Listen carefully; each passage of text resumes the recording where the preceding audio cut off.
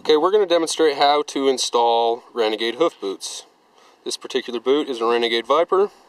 Uh, it's the same method whether you're installing a Viper or the classic Renegade. So boots come with the straps down. To install the boot you have to undo the top pastern strap,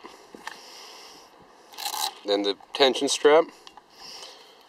You pull the captivator down out of the way,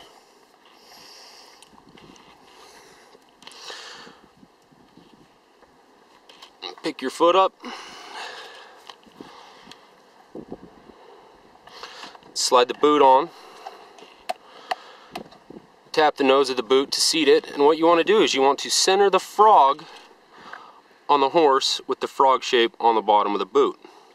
From there you pull the captivator up and set the foot on the ground. Once the foot is on the ground, you need to position the captivator. And to do this, reach both hands from the front of the leg filling the back of the captivator, what you want to do is you want to fit the geometry shape of the captivator with the heel bulbs on the horse. So the boot could be installed improperly by having the captivator far too high or in some cases too low if you have high heels.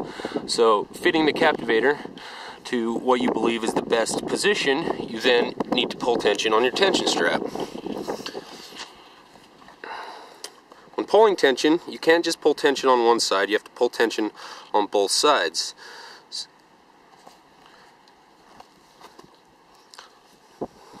From there, you need to do the pastern strap up. To do the pastern strap, you feed it underneath, back across, and making sure that you always have a two finger gap between the pastern strap and the pastern on the horse. You then tuck the end underneath the rubber keeper loops. Your boot is installed. Alright, to remove your boot, it's basically this reverse of installing it. Undo your pastern strap.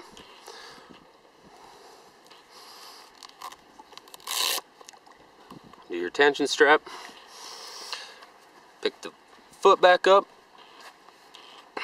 Pull your captivator down. And then the boot will just slide off. It's then good practice to keep your boot with the straps down like the boot was boot came.